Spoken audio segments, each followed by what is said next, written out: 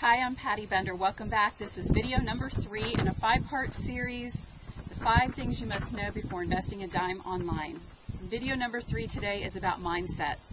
And mindset is just not about having a mindset for success. It's a lot more than that.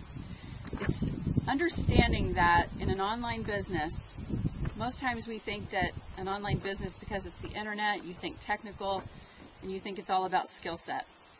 Well, it's actually 90% mindset and 10% skill set.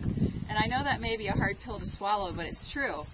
There's a lot of things, yes, you need to learn, and there are some learning curves you need to get through. But really, the key to success online is all about the mind.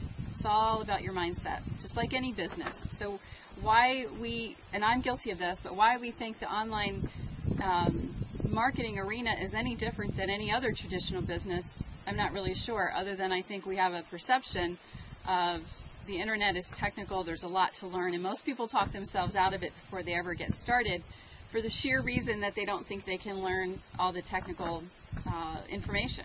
It's really not that hard. We make it harder than it really is.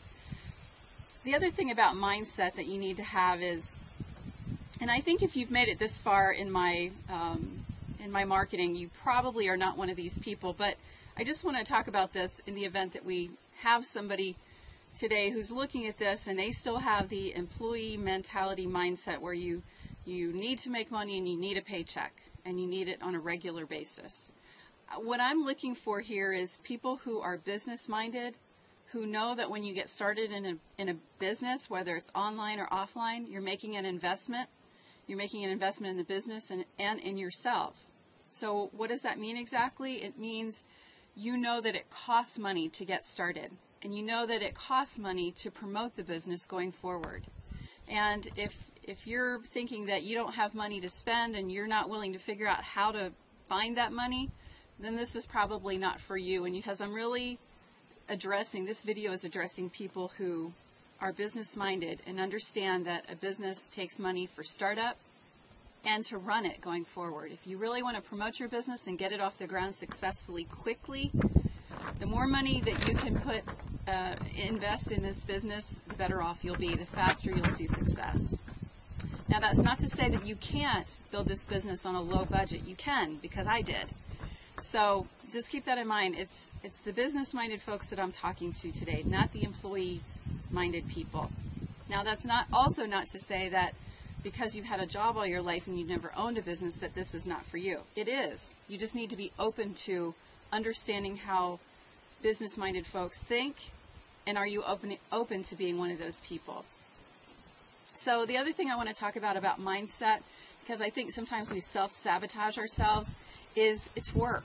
And you need to understand that. You need to go into this with your eyes wide open. This starting a business takes work and it takes commitment and time. So understand that. And lastly, just know that with hard work comes adversity, and there's going to be stumbling blocks along the way. And you've got to make sure you have the mindset that can that can withstand these things. And sometimes these stumbling blocks come in the form of other people trying to talk you out of this business or trying to tell you that you're crazy for in spending money in a business that most people fail at. So you've got to have a mindset that can withstand a lot of the naysayers and the dream stealers. So that's why this business is really, truly 90% mindset and only 10% skill set. If it were all skill set, let's face it, everybody would be successful online because it's just a matter of teaching them how to get from A to Z, right? And we know that's not true because the failure rate online with online businesses is anywhere from 95 to 98 percent. So that's why it's it's it's a 90% mindset business, and you just have to know that going into it. So that's my take on mindset, where you need to be with it, and we'll see you on video number four. Thanks.